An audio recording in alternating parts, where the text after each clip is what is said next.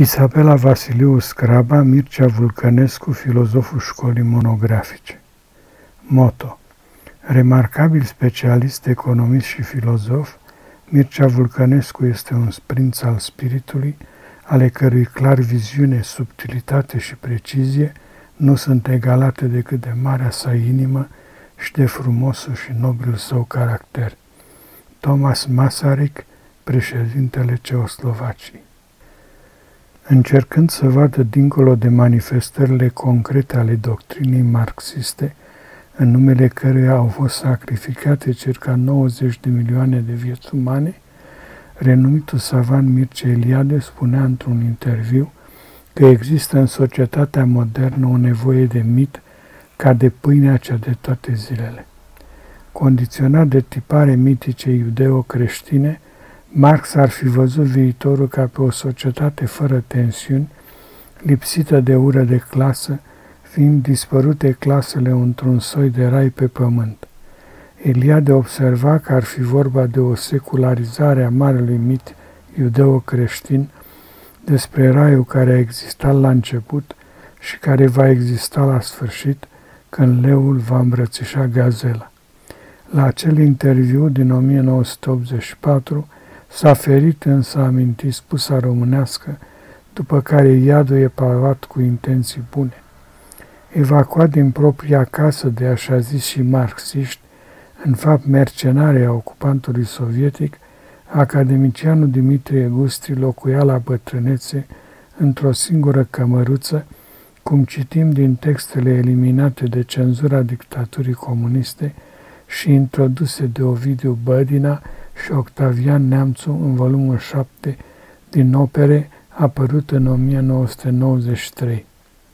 Inițiatorul și conducătorul școlii monografice de la București îi mărturisise lui Constantin Noica în 1954 că ar fi vrut să-l aibă drept urmaș la conducerea catedrei de sociologie pe asistentul său Mircea Vulcănescu fiindcă filozoful ucis în 1952 în temnița Aiudului fusese cel care limpezise și sistematizase tehnica de cercetare pe teren a satelor, la vremea când țărănimia română reprezenta 4 cincimi din populația țării întregite după Marea Unire din 1918.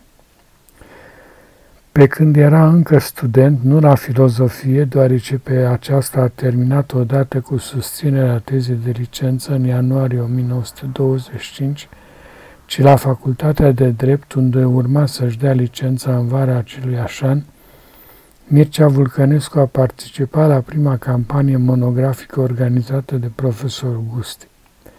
Planul cercetării unui sat românesc fiind gata înainte de Paște, Dimitrie Gusti, însoțit de un asistent și de un grup de studenți, au pornit după Duminica Tomi pentru 10 zile la Goicea Mare, fără să știe că prin cercetările lor în acel sat din Dolj se năștea în primăvara anului 1925 școala monografică de la București.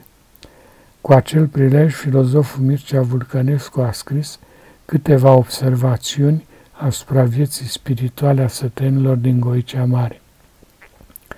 În preajma celui de-al doilea război mondial, școala sociologică a lui Guste ajunsese a fi un focar de concentrare și de iradiere a spiritualității românești interbelice.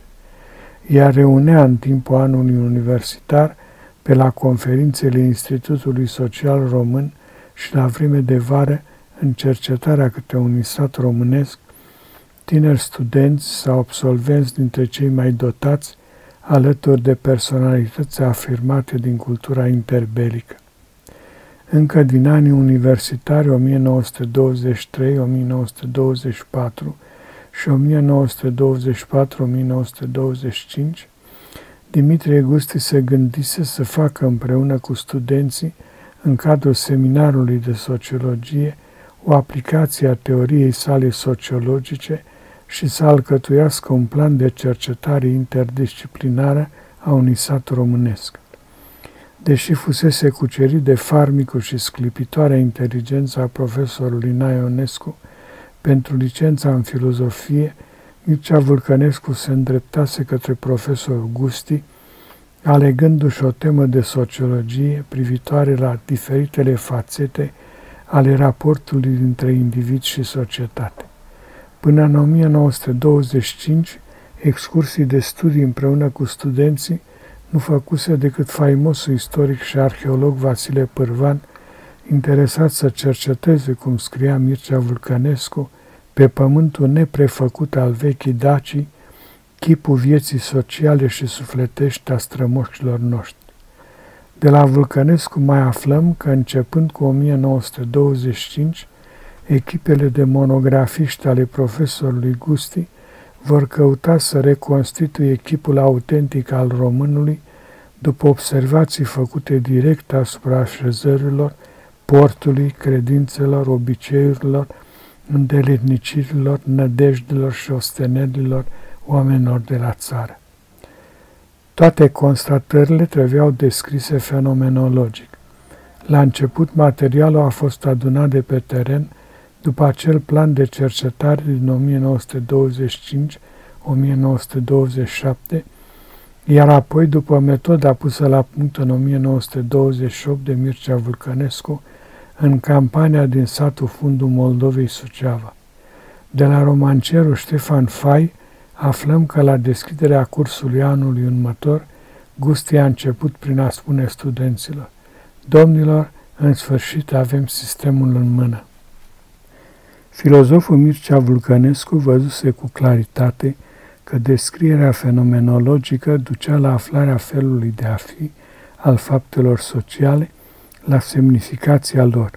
Considerând viața socială a sătenilor ca o formă a vieții în genere, ea putea fi astfel integrată în ritmul cosmic. În echipa de monografiști de la fundul Moldovii, Mircea Vulcănescu s-a găsit între 10 iulie și 10 august 1928, imediat după întoarcerea sa de la studiile de specializare din Franța. Însuși profesorul Gusti recunoștea că în timpul cercetărilor la sat, Mircea Vulcănescu a reușit să cristalizeze viziunea sa neclară încă, doar intuită ca direcție. Inițiatorul școlii monografice era extrem de încântat de formula definitivă de cercetare pe teren, la care filozoful Vulcănescu ajunsese prin sistematizarea metodologiei. La început de drum, problema cea mai acută a monografiștilor fusese îmbunătățirea tehnicii de cercetare. În satul fundul Moldovii, filozoful Mircea Vulcănescu s-a ocupat în mod special de înnoirea tehnicii, analizând seria de planuri și chestionare folosite în vechea schema profesorului. E greu după Vulcănescu să mai pui la socoteală pe alți monografiști în ce privește capacitatea lor de teoretizare. Scria Stal în volumul Amintiri și gânduri din vechea școală a monografiilor sociale. Despre metoda de cercetare monografică a mai tratat sociologul Traian Herseni într-o conferință cu acest titlu ținută în ianuarie 1931 în cadrul conferințelor organizate de Institutul Social Român pentru prezentarea rezultatelor obținute în campaniile monografice. La secțiunea cadre, Ersenia a prezentat în februarie conferința Raportul dintre natură și cultură. La secțiunea manifestări, asistentul Mircea Vulcănescu a prezentat în aprilie conferința Structura vieții economice a satului. În volumul botezat într-o lacună de inspirație cu același titlu pus de diaconul și celui de-al doilea volum de scrieri sociologice ale lui Mircea Vulcănescu, s-a strecurat din nefericire o gravă eroare, ținând de biografia filozofului martirizat la Iud, care trebuie neapărat corectată. În mod greșit, Marin Diaconu consemnează la pagina 202 a documentarului despre școala sociologică a lui Custi că în 1929 octombrie Mircea Vulcănescu și Henri Stal sunt numiți asistenți de sociologie în cadrul catedrei conduse de Dimitrie Gusti. Informația este falsă, întrucât, lipsindu-i licența în filozofie, Stal nu putea fi în 1929 asistent încadrat oficial ca și Mircea Vulcănescu. Abia patru ani mai târziu, Henri Stahl a redactat lucrarea tehnică a monografiilor sociologice, care i-a servit de altfel și ca teză de licență, cum notează el însuși în memorii. Poate Marin Diaconu ar fi vrut să treacă în dreptul anului 1929 o informație biografică de la Măriuca Vulcănescu din viața generosului ei tată și pe urmă s-a răzgândit. Ajutat de avocatul Henri Stahl să se despartă de Anina Rădulescu Pogoneanu, din 1929 Mircea Vulcănescu îi dădea lui Stahl, căruia îi oferise și posibilitatea de a locui în propria sa casă, jumătate din leafa pe care numai filozoful o primea în calitate de asistent încadrat oficial. Într-un articol publicat în revista unui prieten la 29 ianuarie 1933, Mircea Vulcănescu scria că este asistent universitar de etică cu titlu provizoriu la Universitatea din București de la 1 octombrie 1929 cu leafa pe jumătate. După ce îi fusese stenograf profesorului Gusti, Stali a devenit din 1929 asistent onorific, adică fără leafă, având obligația de a-și face între timp studiile la Facultatea de Filozofie și Litere, ocazie cu care l-a audiat și pe Naionescu, dăruit cu o inteligență excepțională.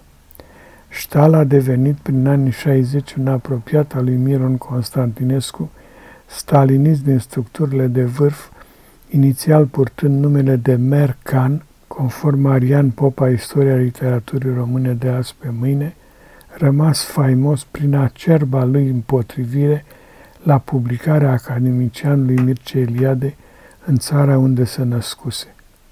Grație unor asemenea relații, Ștal este făcut membru corespondent a Academiei Republicii Socialiste România în 1974, iar membru plin în debutul perioadei brucaniene de după 1990. În secolul 21, un neștiutor îl va cocoța pe Aristal în rândul mentorilor școlii sociologice de la București. Vezi online revista Calitatea Vieții 2002, consultată pe 20 martie 2020. După campania monografică din 1928, profesorul Gusti îi propune lui Vulcănescu să-i devină asistent și îl însărcinează să se ocupe în continuare și la seminar de probleme de tehnică a cercetării monografice. Seminarul meu, consemnează Mircea Vulcănescu, a fost cel din tâi în care s-a studiat planul de lucru. Mai târziu, acest seminar a fost preluat de Stal, fapt care nu se putea întâmpla decât după ce stenograful lui Gusti și-a terminat facultatea de filozofie și litere. Ca urmare a aprofundării aristotelismului a ajuns la mod odată cu neotomismul francez, Mircea Vulcănescu a observat afinitățile dintre concepția voluntaristă a națiunii, susținută de profesorul său, și teoriile corespunzătoare ale catolicismului neotomist. Vezi, Mircea Vulcănescu, nevoia de unitate a spiritului meu mi-a impus sinteza între Dimitrie Gusti și Naionescu în revista Viața Românească 1993. Asistentul preferat a așezat sistemul lui Guste pe baze aristotelice, suprapunând deosebirea dintre cade și manifestări, deosebiri aristotelice dintre posibilitate și actualitate. În memoriile sale, monografistul Stahl precizează că a fost încadrat oficial ca asistent doar în 1943.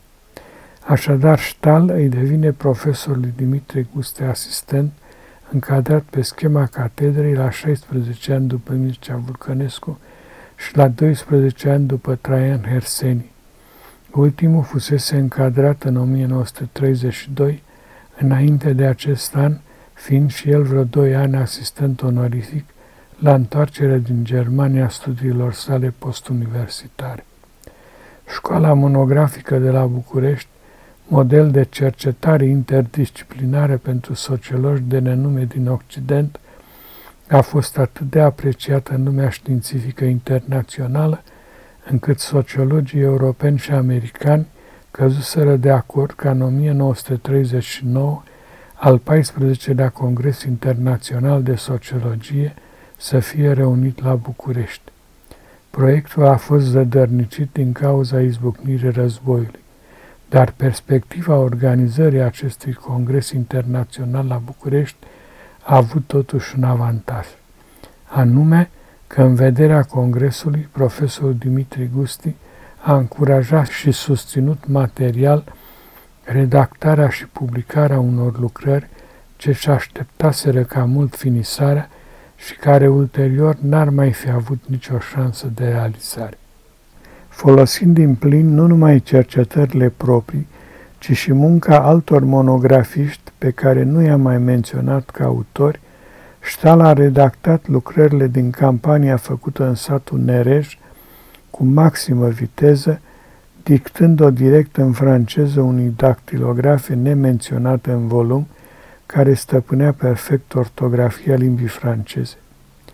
Cu vastul său orizont filozofic, Mircea Vulcănescu a predat pentru înțelegerea esențial predicativă a faptelor sociale, opusă explicației cauzale folosite în științele naturii.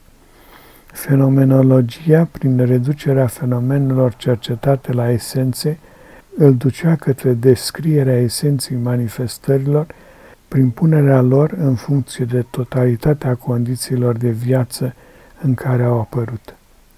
În opinia filozofului Mircea Vulcănescu, cheia succesiunii formelor nu stă în aceste forme ele însele, ci în condițiile lor vii, în cadre, dintre care două, cosmologic și biologic, erau firește naturale, iar socialitatea celorlalte două, psihologic și istoric, nu putea fi tăgăduită. Filozoful subliniază diferența dintre poziția sa și poziția sociologului Traian Herseni, care n-a șovăit să împingă complet sociologia printre științele spiritului. Lui Mircea Vulcănescu i s-a părut că ar fi trădat gândul profesorului Gusti dacă nu ar fi pus în relief caracterul de cheie a relațiilor dintre lumea fizică și lumea spirituală pe care îl are societatea în concepția lui Gusti.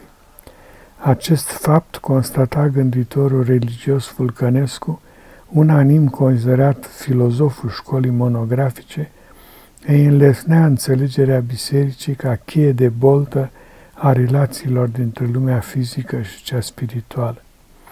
Trăind nemijlocit în mediul pe care îl cercetau, monografiștii puteau pătrunde înțelesul unor manifestări greu de încadrat.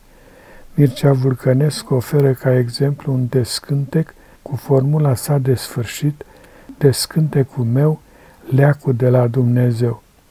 În formulă ar supraviețui două mentalități diferite, una magică, bizuită pe puterea ritualului, și alta religioasă, în care ritualul nu este decât apel către o ființă care acționează în deplină libertate. Am avea aici o sinteză în care natura totalității este imposibil de precizat pentru cineva care cercetează din afară, fără o contopire sufletească cu obiectul de cercetat, fără o trăire în însăși condițiile lui. Conform Mircea Vulcănescu, prolegomene sociologice la satul românesc, București 1997. Se pare totuși că nu numai o contopire sufletească cu obiectul de cercetat era în măsura dezvălui natura acestor lucruri delicate, fiindcă avocatul Stal, deși participase la multe cercetări monografice organizate de Gusti, încă de când făcea a doua sa facultate, aceea de filozofie, a nimerit-o alături atunci când a vrut să prezinte filozofia populară. Stal a consemnat eronat că aceasta ar cuprinde doar gesturi și ritualuri magice menite să acționeze în vederea silirii la o supunere în fața voinței omenești. Ceremoniile și acțiunile religioase ale sătenilor în opinia greșită a lui Stahl, ar avea fără nicio deosebire de ritualele magice același scop, în duplecare la voința oamenilor ce urmăresc ca semnele depășind puterea noastră de înțelegere să devină totuși binevoitoare. Sistematizând și clarificând metoda lui Gusti, Mircea Vulcănescu a ajuns la o sugestivă formulă sintetică.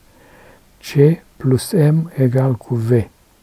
Formula ușor de reținut pune în evidență cadrele C, cosmologic, biologic, psihologic și istoric, adică patru ansambluri mari de factori care influențează viața socială fără a o determina cauzal și manifestările M ce decurg sub influența cadrelor, sublinind totodată rolul voinței sociale. Ultima este privită ca o putere de reacție ce generează diferite manifestări.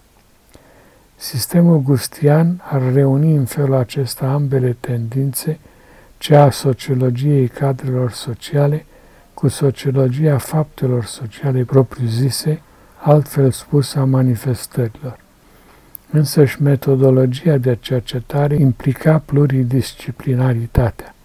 La o campanie de cercetări monografice trebuiau să participe cel puțin 12 cercetători diferiți, un geograf, un antropolog, dublat de un statistician, un istoric și un psiholog etnograf pentru cadre, iar pentru manifestări, un economist, un jurist, un cercetător a vieții politice și administrative și cel puțin trei cercetători ai vieții spirituale care să se ocupe de următoarele manifestări. Limba și obiceiurile, literatura și arta, religia și moralitatea. Prezentând în 1938 lucrările Școlii Românești de Sociologie, Mircea Vulcănescu observase că sociologiile particulare ale fiecărui cadru sunt unilaterale, pretinzând o exclusivitate a punctelor de vedere, spre deosebire de teoria generală a cadrelor, care nu stabilește raporturi univoce între viața socială și totalitatea împrejurărilor în care ea se desfășoară. Ca unitate vie, orice unitate socială exercită o anumită forță de reacțiune, o anumită capacitate de a se sustrage acțiunii directe a anumitor cauze prin interferarea cu altele, ceea ce face ca problema explicației sociologice să fie pusă prin termenul de voință socială. Vezi Mircea Vulcănescu, Publication de l'École Roumaine de Sociologie, 1938, Traducere de Mariuca Vulcănescu în volumul Mircea Vulcănescu, Școala Sociologică a lui Dimitrie Gusti, editura Eminescu București 1998. Dintr-un articol apărut abia după decembrie 1989, aflăm de la sociologul Traian Herseni că Mircea Vulcănescu și adusese în cadrul școlii monografice un însemnat aport nu numai în domeniul manifestărilor sociale, scriind în 1932 acel studiu extrem de valoros, pe cât de precis, pe atât de complet, teoria și sociologia vieții economice, dar și în fundamentarea tehnicii de cercetare monografică prin cadre și manifestări. Traian Herseni, care a publicat cele mai multe lucrări de sociologie, Vezi Paula Herseni din publicațiile Școalei Sociologice de la București, 1971, în volumul Sociologia Militans 6, editura științifică, are grijă să nu uite a evidenția noutatea adusă de filozoful Mircea Vulcănescu. Datorită contribuției vulcănesciene, sistemul gustian a câștigat în valoare prin prognozele devenirii sociale, pornind de la considerarea cadrelor de virtualități sociale ce pot avea manifestări reduse sau dezvoltate, cadrele fiind chiar putințele devenirii sociale. Vezi Traian Herseni, Mircea Vulcănescu, în revista Manuscriptum, număr omagial Mircea Vulcănescu, 1996, numărul 1-2.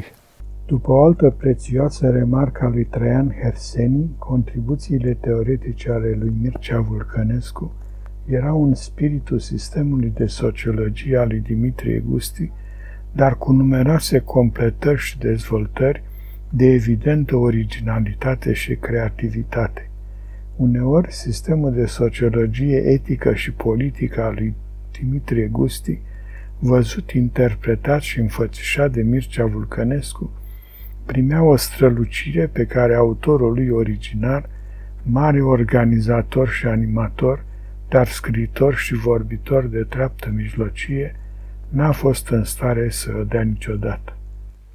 Conform Traian Herseni, opera citată, pagina 130.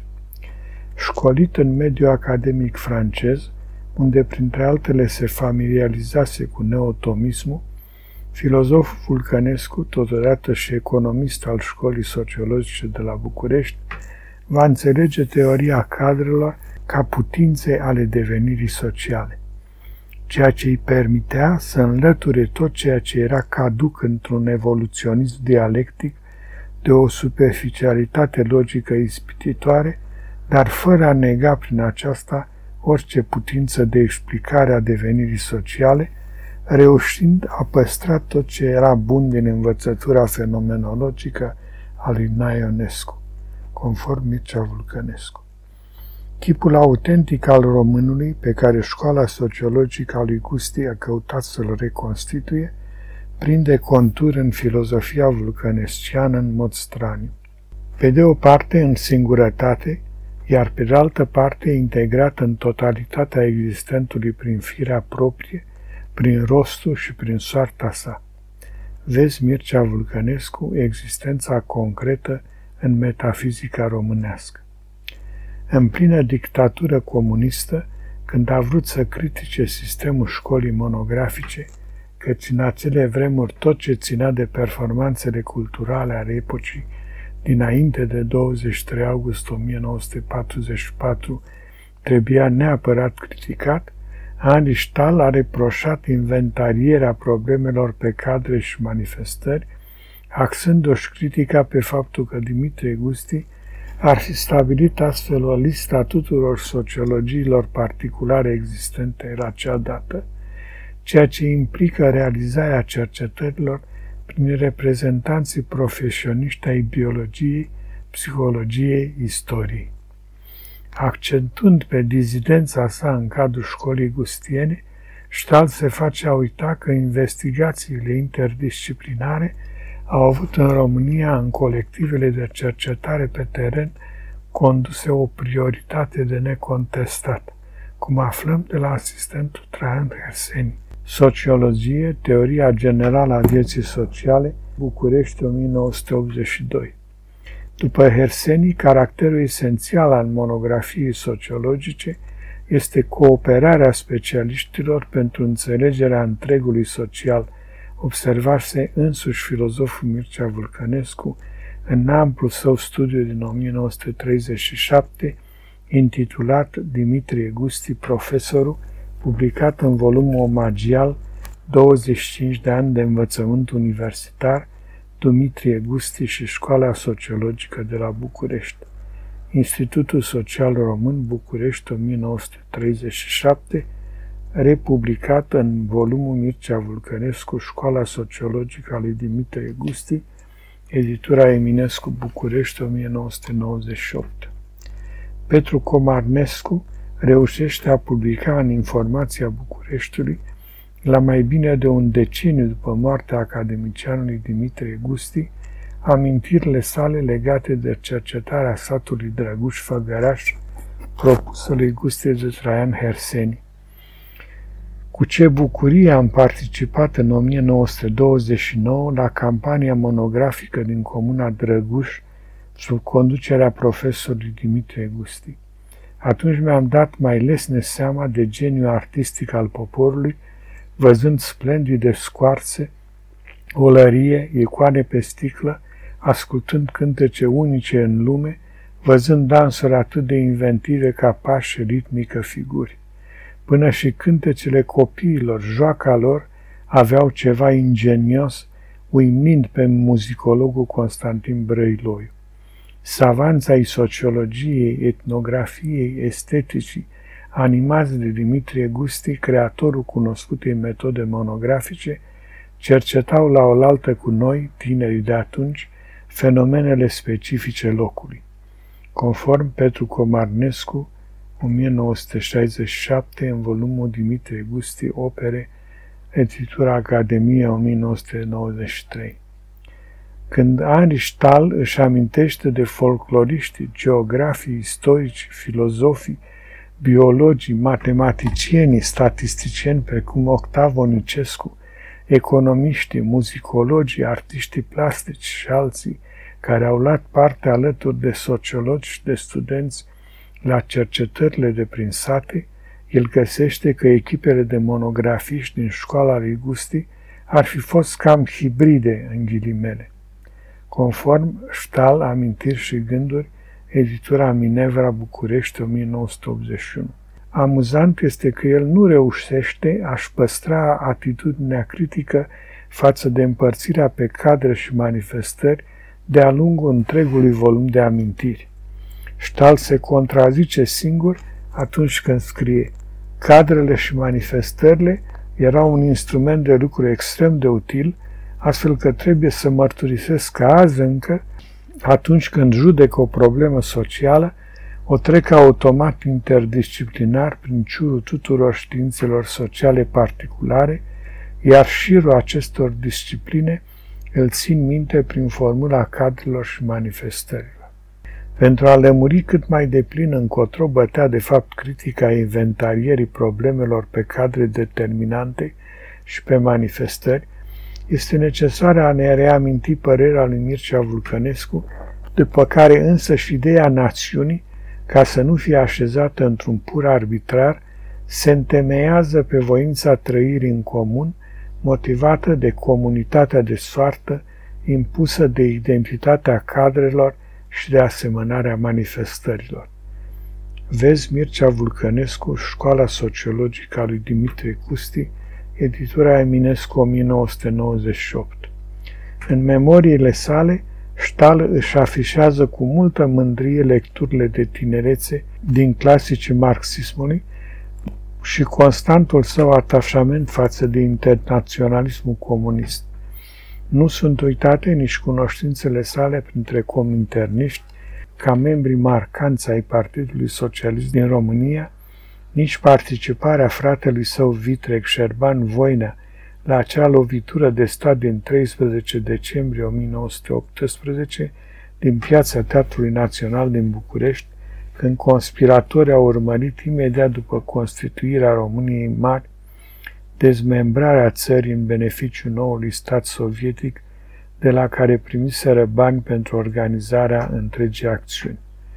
Vezi Magda Macici, Grefa comunistă din România, în revista Memoria numărul 6 1992. Manifestația muncitorească din piața Teatrului Național a urmărit acapararea puterii după modelul rusesc al orii cu asalt a Palatului Regal – în 13 decembrie 1918 a fost prima acțiune de amploare a Partidului Socialist din România, de orientare marxistă și botezat astfel pe 9 decembrie 1918. De la Magda Macici aflăm că manifestația a fost organizată cu bani de la Moscova, bani ușor de acoperit din tezaurul nostru național, sequestrat în timpul războiului la Kremlin, și nici azi restituit țării noastre.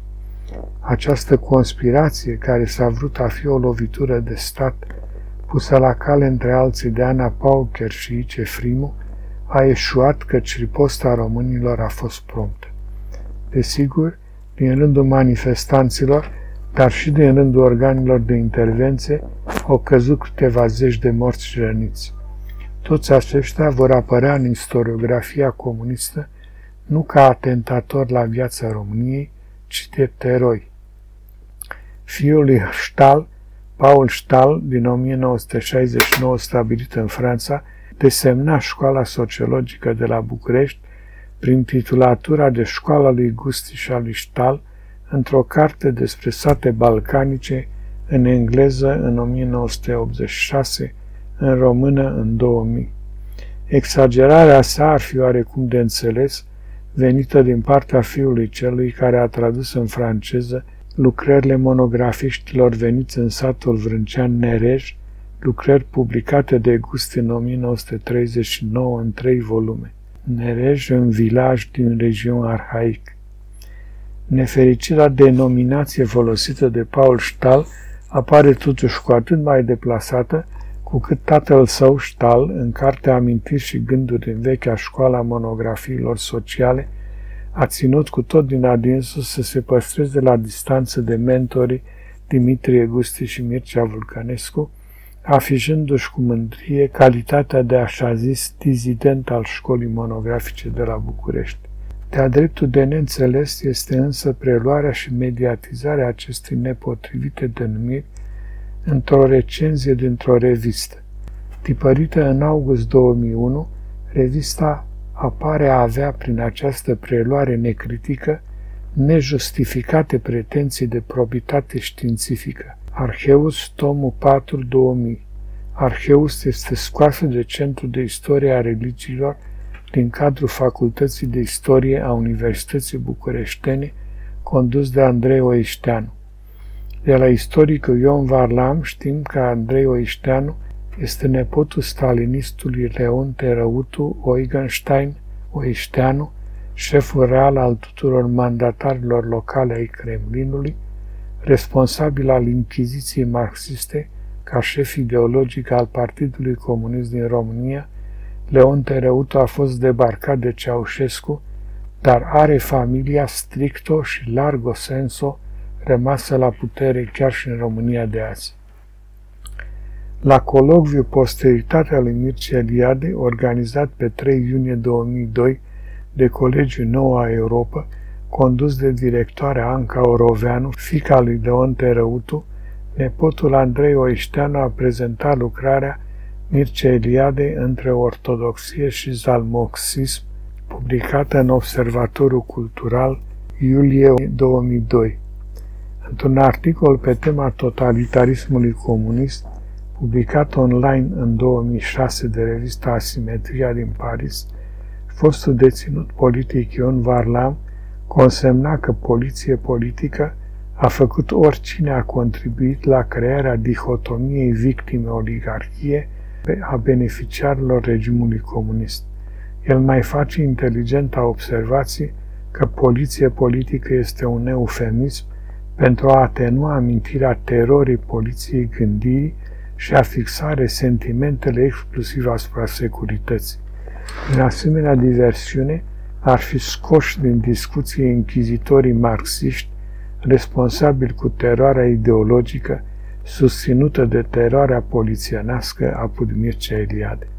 Nefiind judecați pentru vinovățiile lor, în contextul camuflării de facto a amplorii crimelor comuniste, urmașii închizitorilor marxiști au profitat în continuare de privilegiile câștigate în comunism. Textul de față are la bază o conferință ținută în 26 decembrie 2001 la Sighetul Marmații, la seziunea de comunicări pe teme de etnografie și folclor din cadrul Festivalului Marmația 2001.